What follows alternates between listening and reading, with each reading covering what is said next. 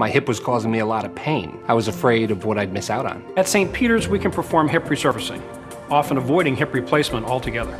Turns out I didn't have to miss a thing.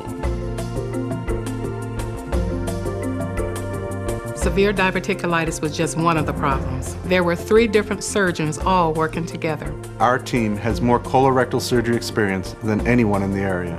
Now I'm back to my normal life and I feel great. Esophageal cancer wasn't going to stop me. I wanted to live. I trusted them to do whatever was best. St. Peter's provides the greatest expertise in thoracic surgery. Today I'm cruising right along.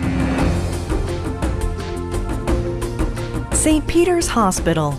Technology, innovation, experience for a better outcome and a better life.